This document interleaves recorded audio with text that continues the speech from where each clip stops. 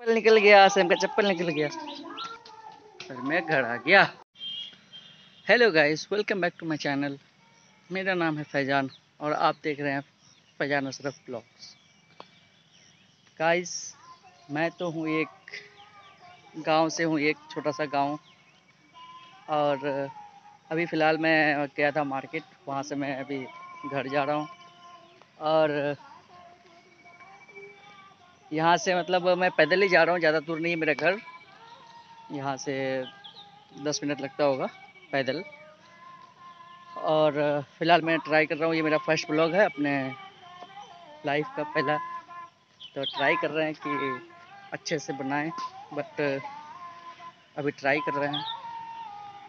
आगे चल के और अच्छी वीडियो आएगी।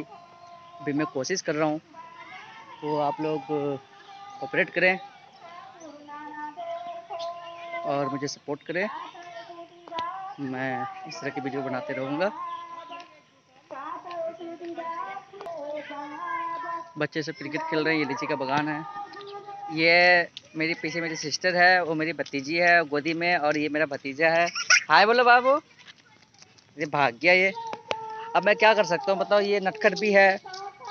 बहुत नटखट है। शैतान है। लेकिन बहुत क्यूट है। बाकी। रुको, सेम। सेम सेम, इधर रुको। देखो, वो भागे जा रहे थे। रुकता ही नहीं है वो। और पीछे वो जो है,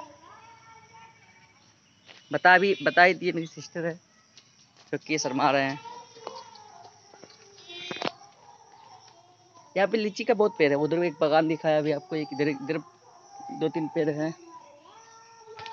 और लाल।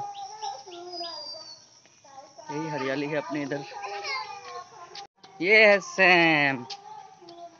सेम का चप्पल निकल गया, सेम का चप्पल निकल गया। और मैं घर आ गया।